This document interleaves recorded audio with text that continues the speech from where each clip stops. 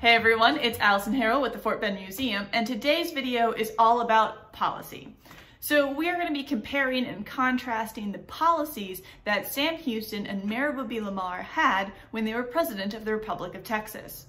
Now, rather than me tell you all of their policies or their thoughts and ideas, I do have two people who will be speaking for them. Now, we're going to be looking at the policies of Sam Houston and Mirabeau Lamar that they had during their presidencies in the Republic of Texas.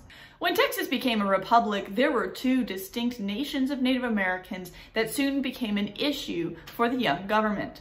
So let's first ask Sam Houston, what is your plan to deal with the Native Americans that are currently residing in the Republic of Texas?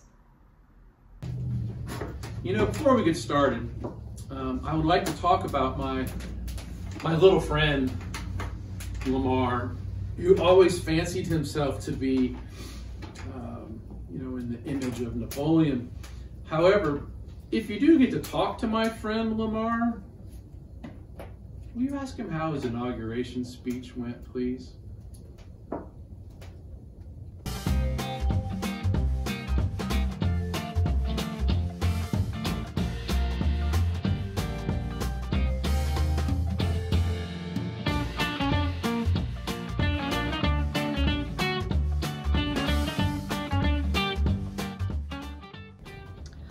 Let's get into our issues. The first topic that we need to cover are the Native American tribes that live in Texas starting in 1836. So Sam Houston, what is your plan on how to handle the Native American tribes in the newly formed republic? Well, I'll tell you. In all my years of living with my Indian brothers, I learned a lot of things one of those things is that if we build and equip and train an army, that it's going to be a waste of our treasury. We're going to spend too much money on tracking down a group of people that we'll never catch. Think of the expense. Just, it's just a waste of money. I believe it's better for all parties, both Texian and Indian, to live in peace. Okay, now let's toss the same question over to Lamar. Lamar, what's your plan for the Native Americans living in Texas?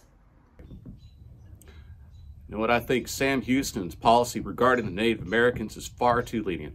Very typical of the gutter snipe that he is. Native Americans have absolutely no integrity. Land could be better used by colonists here in Texas. There's no chance in negotiating with these Native Americans there's no chance of coexisting with them.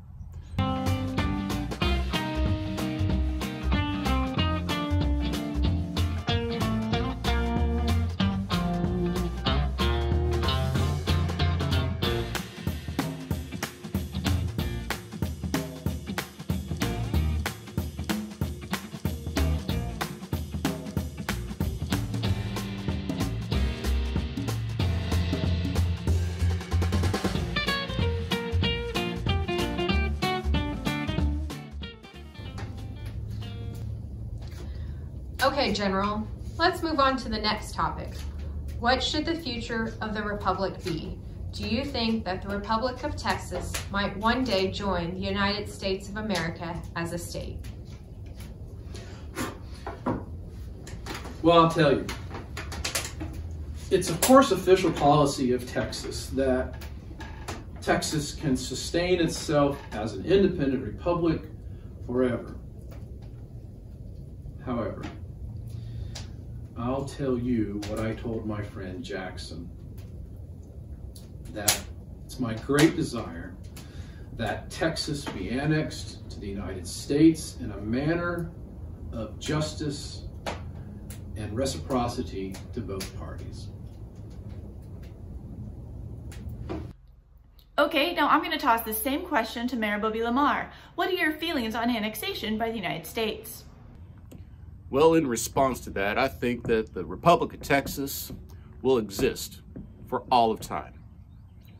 I also think that this Texas of ours should extend our holdings, our land, our republic, all the way west to the Pacific Ocean.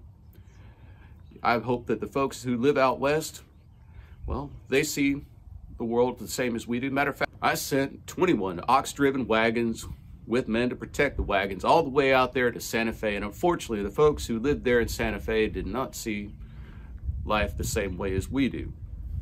I, uh, furthermore, I think that Texas, the republic of ours, should be recognized as an independent nation by all of Europe and including Mexico.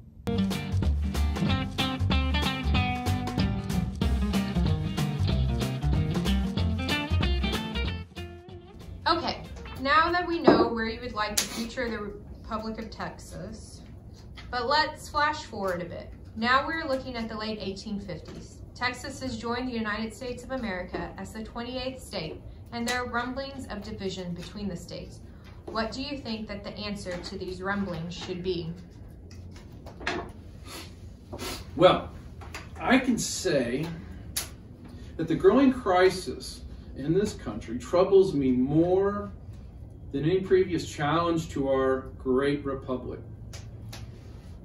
To have agitators in both the North and the South generating such animosity for the remainder of the country, it's unconscionable.